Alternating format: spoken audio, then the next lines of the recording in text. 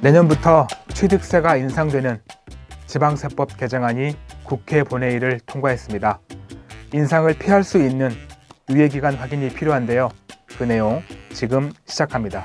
구독하기와 좋아요 꾹 눌러주십시오.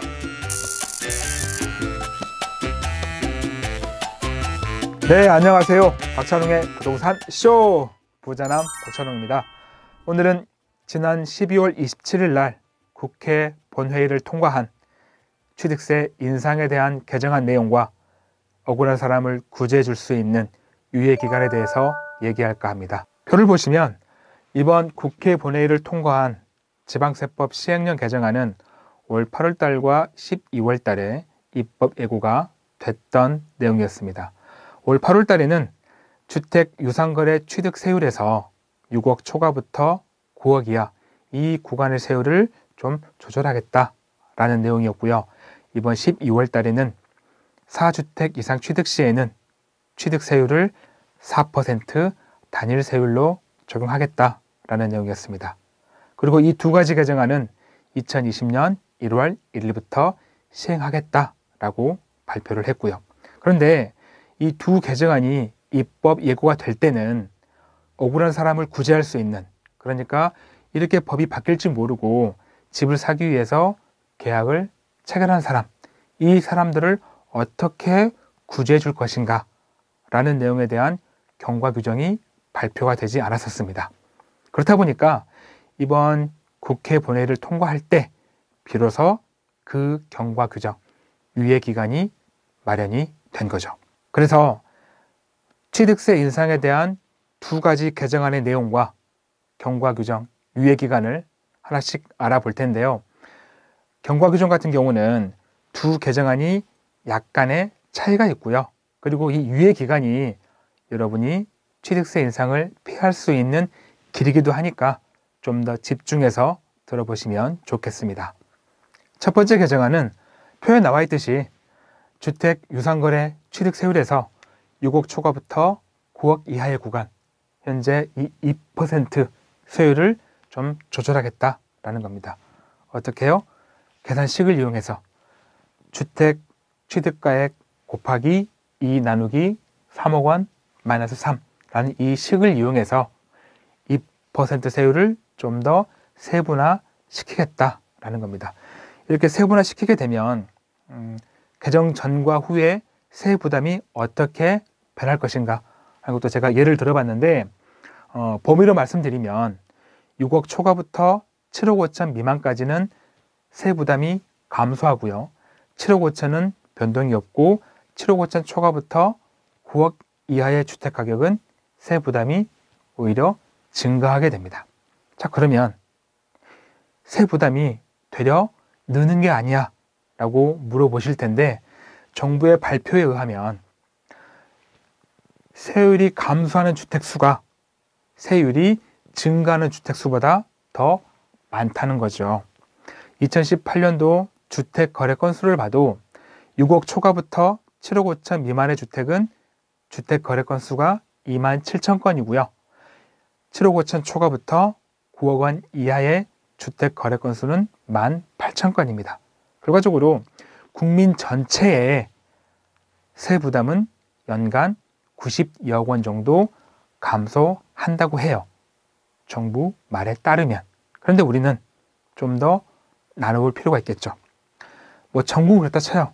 그러면 지방과 서울로 나눠보면 지방 같은 경우는 아무래도 주택 가격이 7억 5천 미만인 경우가 많겠죠.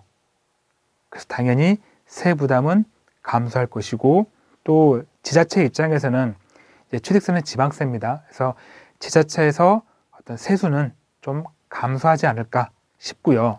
서울 같은 경우는 평균 집값이 7억을 넘습니다. 때문에 서울은 세 부담이 증가하게 되고 그만큼 세수 확보는 더 증가할 것으로 보입니다. 근데 문제는 지금 이렇게 법이 바뀔 줄 모르고 지금 집을 사려고 계약을 한 사람들, 이 사람들 억울하잖아요. 그래서 이 사람들 위한 경과 규정, 유예 기간이 중요한데 그 유예 기간 알아보겠습니다. 표에 나와 있죠. 어, 일단 목적은 납사자들의 신뢰를 보호하기 위해 마련했다라고 했는데 쉽게 말하면 억울한 사람들 구제해 주는 겁니다.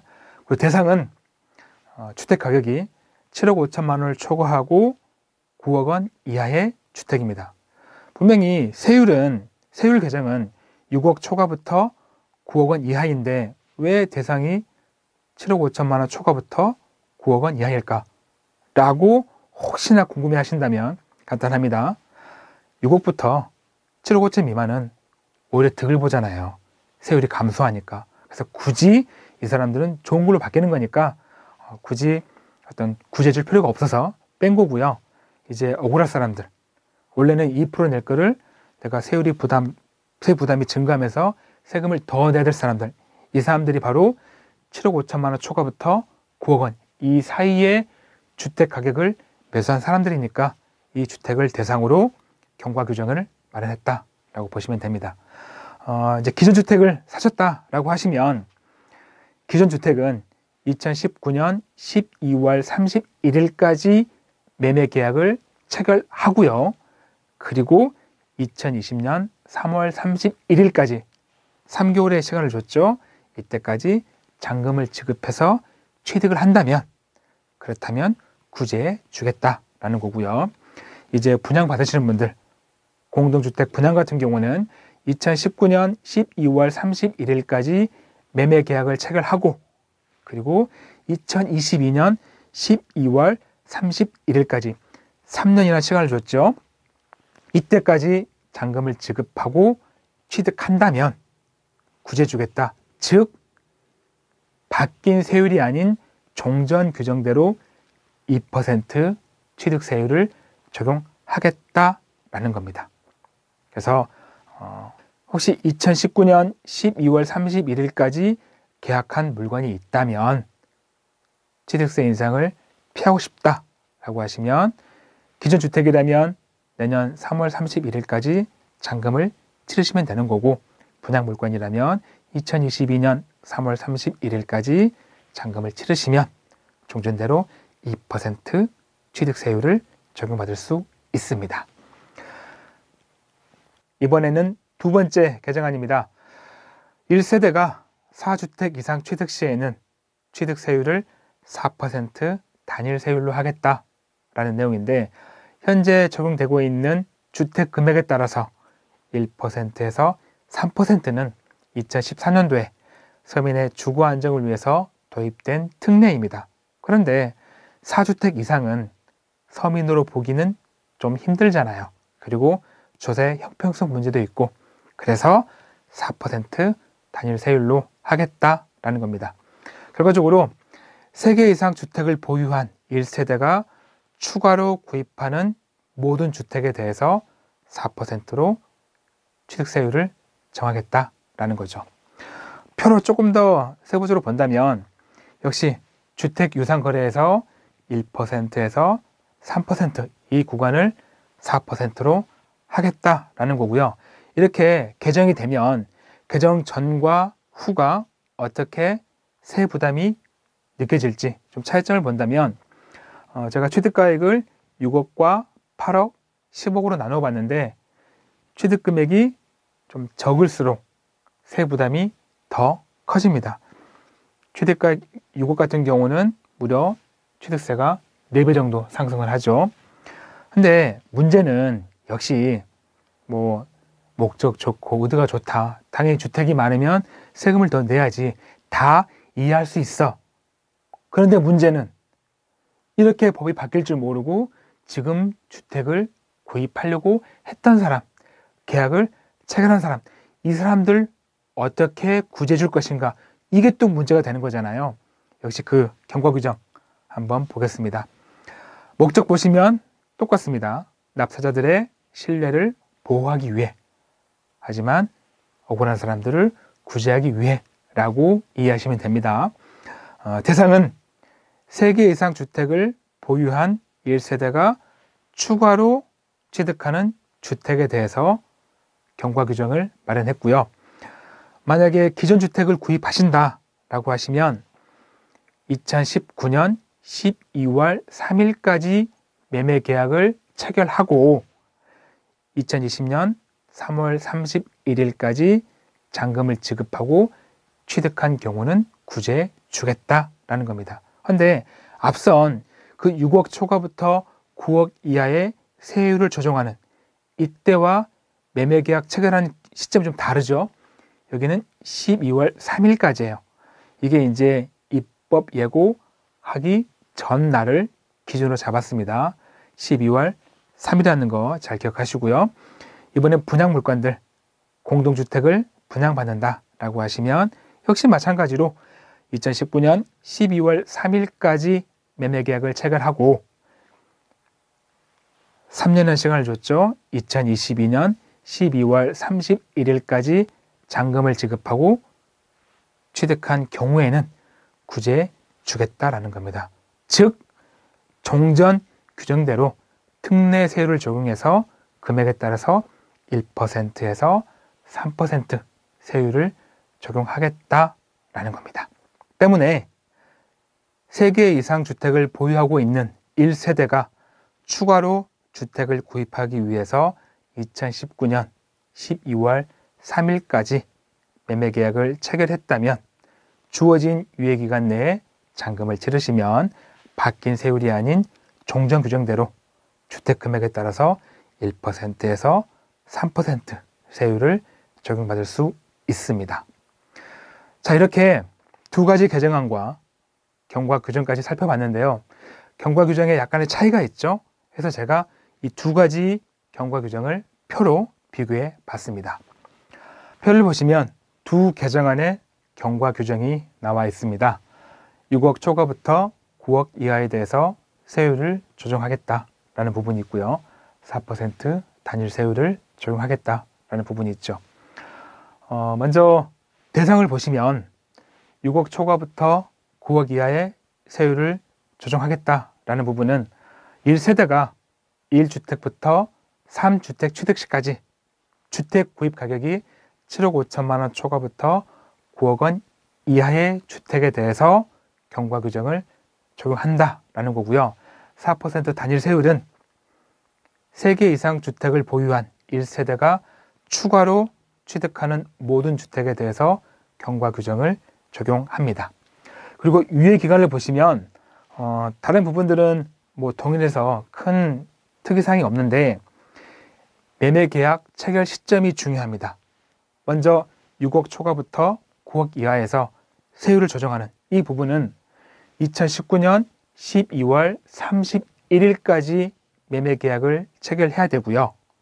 4% 단일 세율은 2019년 12월 3일까지 매매 계약을 체결해야 합니다.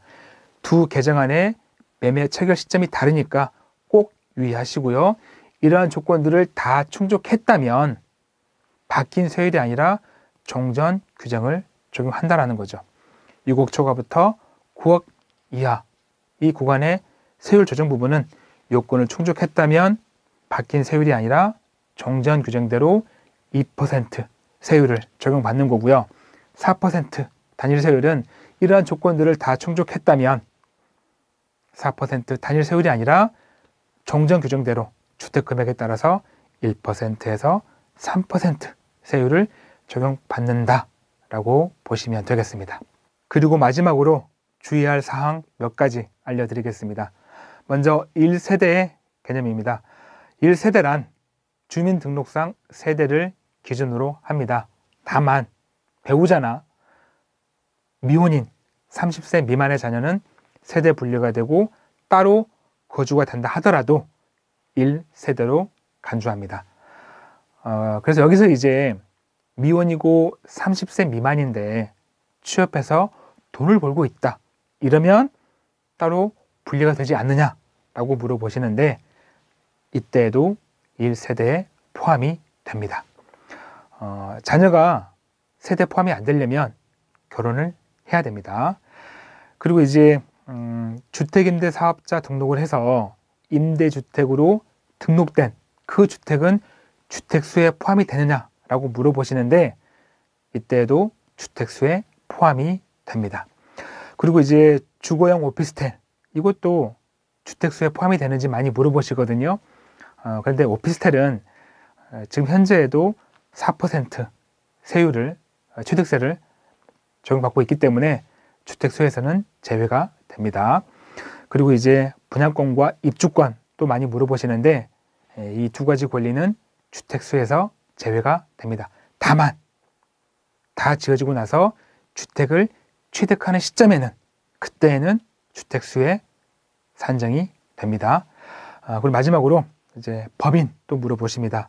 근데 법인은 세대 개념이 없죠. 그래서 법인은 적용이 되지 않는다는 것 어, 알려드리고요.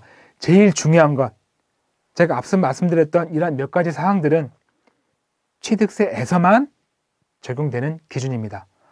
1세대 개념이나 임대주택이나 주거용 오피스텔이나 만약에 다른 세금들 양도세와 같은 다른 세금에서는 기준이 다르다는 것 혹시 여기서 이 개념을 가지고 다른 세금에 똑같이 적용되겠지라고 하시면 절대 안 됩니다.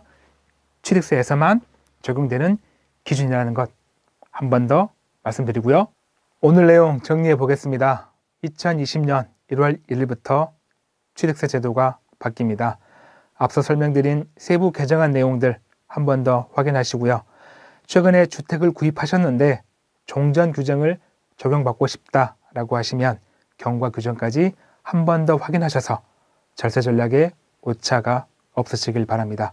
이제 정말 인사할 시간입니다. 저에게 큰 힘이 되는 구독하기와 좋아요, 알림 설정 꼭 눌러주시고요. 저는 다음 영상에도 최선을 다하겠습니다. 고맙습니다.